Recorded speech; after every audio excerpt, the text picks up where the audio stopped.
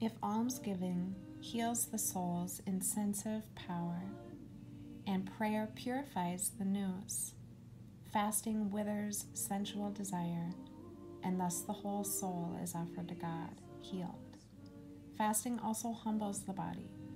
Quote, privation of food mortifies the body of the monk, unquote, yet excessive fasting not only weakens the body, but, quote, makes the contemplative faculty of the soul dejected and disinclined to concentrate, unquote, as the soul and body are linked.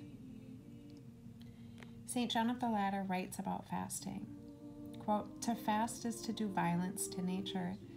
It is to do away with whatever pleases the palate.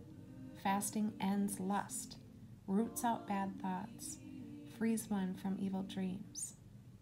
Fasting makes for purity of prayer, an enlightened soul, a watchful mind, a deliverance from blindness.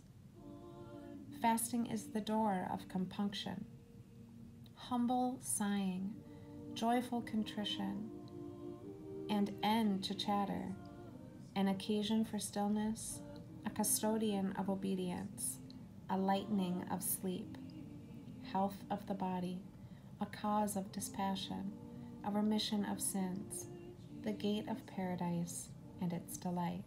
Unquote.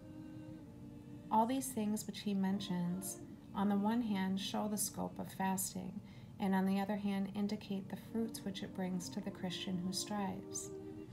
That is why all the saints loved fasting. It is very important to mention that when someone begins to repent, he also begins to fast of his own accord, which shows that fasting goes with prayer and repentance. To be sure, fasting is a means and not an end. It is a, quote, tool for training those who desire self restraint, unquote. But without it, it is almost impossible to conquer the passions and attain dispassion. St. John of the Ladder is clear about this. As the Hebrews freed themselves from Pharaoh and experienced the Passover after eating bitter herbs and unleavened bread, so we too will be freed from the inner Pharaoh through fasting and humility.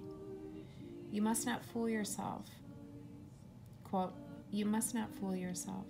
You will not escape from Pharaoh, and you will not see the heavenly Passover unless you constantly eat bitter herbs and unleavened bread.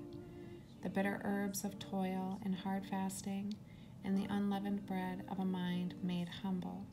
Unquote. It is essential that we keep the fasts which the Church has fixed and strive not to give satisfaction to the unreasonable demands of the body.